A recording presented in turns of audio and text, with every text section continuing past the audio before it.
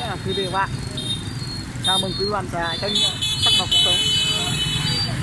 Hiện tại phóng viên sắc màu cuộc sống đang có mặt tại chỗ gần khu vực uh, cổng vào của chợ Đồng Xuân. Đây nối một mặt uh, chính của cổng chợ Đồng Xuân đấy các bạn.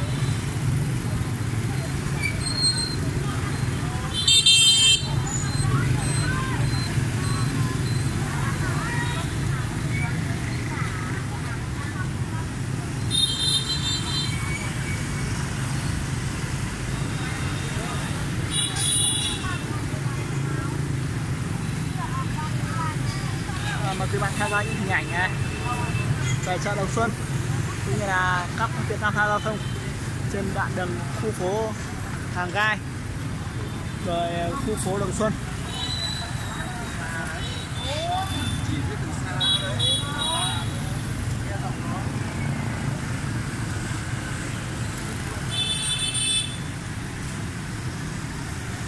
Các bạn thấy à, các phương tiện tham gia giao thông trên đường đoạn khu phố chợ Đồng Xuân này khá là đông đúc. Và tấp nập. Thời tiết thì bây giờ đã sang uh, hôm nay bắt đầu có gió mùa đông bắc. Uh, tràn về.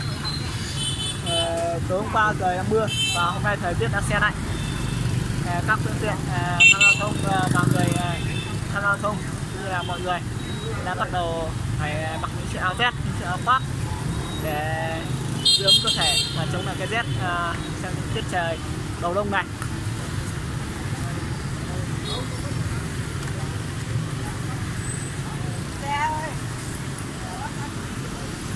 Đây là một uh, khách du lịch nước ngoài.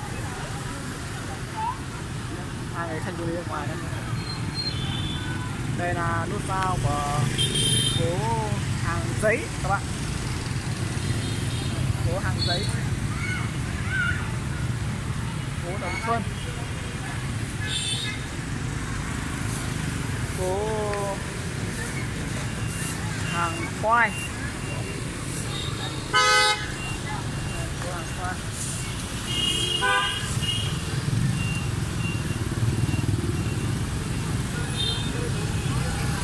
đây là trung tâm thương mại chợ Đồng Xuân đây. Một trong những uh, khu uh, chợ đâu đời và lớn nhất của thủ đô Hà Nội.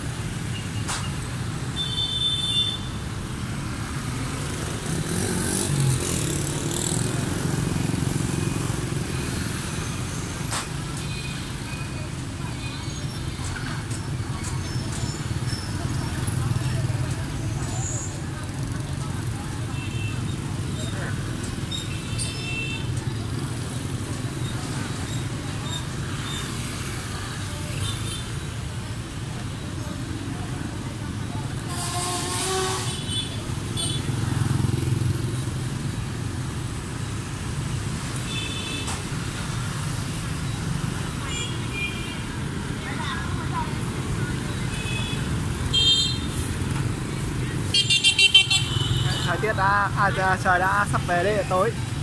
À, các cửa hàng và hai bên đường đã bật khá nhiều điện à, sáng. Tạo nên ờ, những à, sắc màu. À, của những buổi chiều đông này.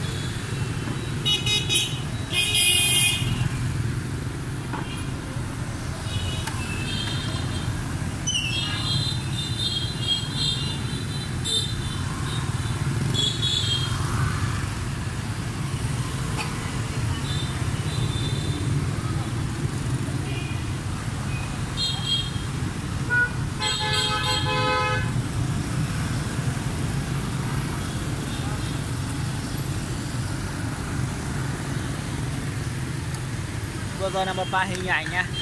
Về chợ Đồng Xuân cũng như là các phương tiện tham gia giao thông. Tại nút uh, giao ngã tư giữa phố hàng khoai phố đồng xuân phố hàng giấy. Uh,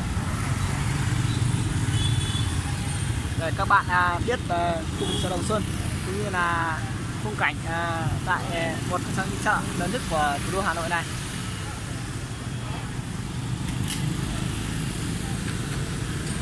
Uh, cuộc sống uh, khá là ồn ào tấp nập và uh, sôi động của một khu chợ uh, thương mại dịch vụ lớn nhất của thủ đô Hà Nội. Và đây là một chợ rất đẹp cổ kính được xây dựng lâu đời.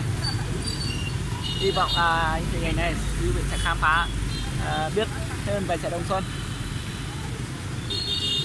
Xin uh, chào tạm biệt và hẹn gặp lại quý vị và các bạn ở những video chia sẻ tiếp theo. Hãy nhớ like và đăng ký kênh để thường xuyên nhận được những video mới nhất. Xin chân chào cảm ơn.